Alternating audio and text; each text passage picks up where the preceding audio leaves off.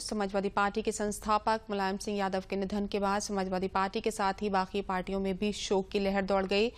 सपा नेता और अखिलेश यादव सरकार में कैबिनेट मंत्री रहे अरविंद सिंह गोप ने भी मुलायम सिंह यादव के निधन पर दुख जताया। उन्होंने कहा कि आज हम लोगों ने अपना अभिभावक खो दिया है। इसके अलावा पूर्व मंत्री और बाराबंकी की रामनगर विधानसभा सीट से विधायक फरीद महफूज किदवई और सदर सीट से सपा विधायक धर्मराज यादव उर्फ़ सुरेश यादव ने भी मुलायम सिंह यादव को श्रद्धांजलि दी। आज हम समाजवादी पार्टी के हर कार्यकर्ता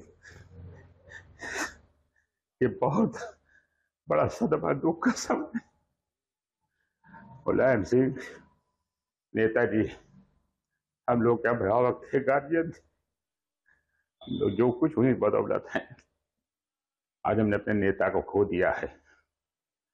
हम सब बहुत दुखी हमारे नेता, जिन्होंने हम जैसे इंसान को प्रदेश की बड़ी पंचायत में पहुँचाया और इस लायक बनाया कि हम तमाम जनता की सेवा कर सकें, उनके जाने के बाद आप अंदाज़ा लगा सकते हो कि हम कितना गमजदा हैं। और हमारे लिए तो विश्वास कीजिए कि जीवन का सबसे बड़ा दुखद समय है ये। यहाँ ये भी बता देना चाहता हूँ कि जो सियासत माननीय नेताजी से मैंने सीखी है, वो ये है कि किसी से डरना नहीं है, किसी से खौफ नहीं खाना है और अपने उसूलों के लिए किसी से भी लड़ जाना है, बगैर ये देखे हुए कि वो कितना ताकतवर है। अपने माननीय राष्ट्रीय अध्यक्ष अखिलेश यादव जी और उनके परिवार के लिए मुझे दुआ देनी, दुआ करनी है कि अल्लाह उनको सब्र दे और इस नुकसान को बर्दाश्त करने की कुवत दे।